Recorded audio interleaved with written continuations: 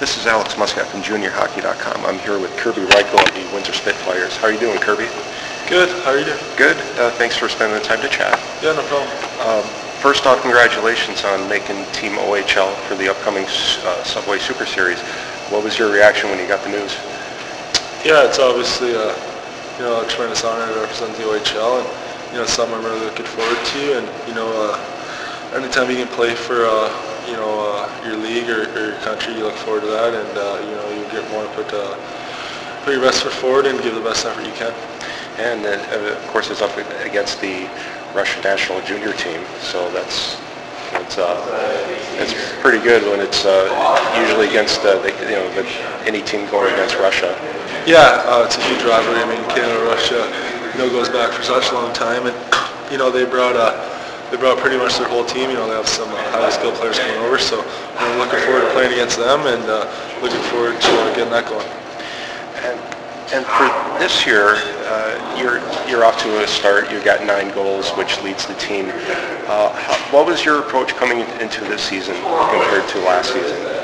Well, I think you know just be a leader on the team. Uh, you know, it's my third year now, so you know I got to lead by example on and off the ice, and you know just be a good teammate and uh, help the team in any way that I can. You're like the grizzled veteran on the team now. When you first came into Windsor, there was players like Ryan Ellis, Zach Kassian, and Kenny Ryan were winding down their junior careers, and you're almost in a way taking you know in the same position as they were. Yeah, exactly. Uh, you know, uh, we've had some guys that have been around here for three years now. You know, Brady Vail, Nick Ebert, and me. So, you know, we just got to keep uh, keep the guys uh, level-headed, no matter how good, good or bad we're doing, and just uh, help them out in any way we can. And the Spitfires are one of the youngest teams in the OHL. Uh, the team got younger when they got Josh Ho-Sang and Patrick Sanvito and you know other players like Adam Bateman and Jordan Maletta, and you know it seems like it, it pro- provides some excitement for the team. Yeah, for sure. Uh, we're still a young team, but you know uh, we're expected to you know uh, make some noise here. I mean, um, you know our base for our team's 94 group, and you know it's our third year now. So for the next two years, hopefully we can uh, we can uh, have uh, some good times here and hopefully win a championship. And you're playing on a line with Chris Marchese and, and Josh. Uh, what what makes the line click? Oh, I think you know uh, Josh is such an elite player. Uh, you know he's a world-class player. He's going to be a first-round NHL pick uh, next year, and you know I think Cheese is, uh, complements our line well. You know he does the little things uh, right. So you know I think you know we're all th- we're three three of us are friends off the ice. So I think that helps too. And what similarities are there between Josh and the player that you played with last year, and Alex, Alex Khokhlachev? Uh, you know, I think they're a little bit different. I mean, Coco is more, uh, Coco is more of a passer, but I think Josh is a really good passer too. But I think you know he's got the, he's got you know some sick moves, and you know he's he brings fans out of their seat. Uh, I mean, and he's, he's a really determined player, and you know uh, he's going to be one uh, in the future that a lot of people are going to be watching. And you've made some strides since your playing days with the Belle Tire hockey program to, to the uh, to the present.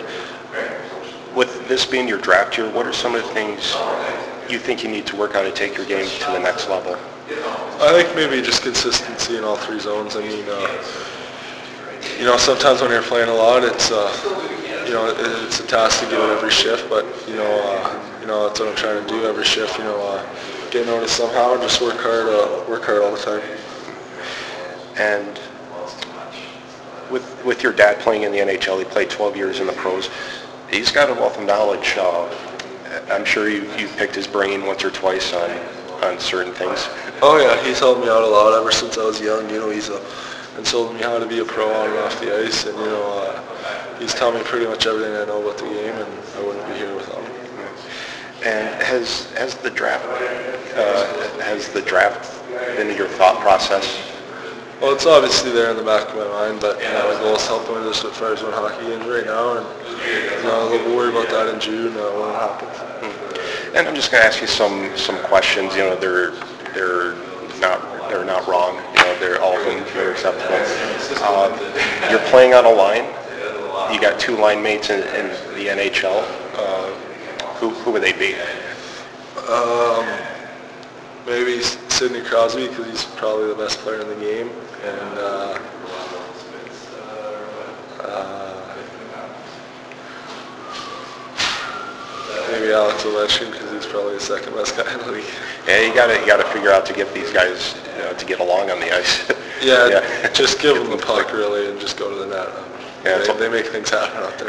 yeah, it's almost like this generation's uh, Lemieux and Gretzky. Yeah, really. Yeah.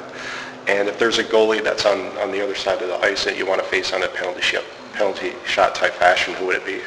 Uh, say Patrick Roy because he's arguably the best player in the game, or the best goalie that ever played. So, you know, it'd be cool to try and score score against him and see what I got. Okay. And when your name is called out onto the ice, what music or what song would, would you uh, come out to? Uh,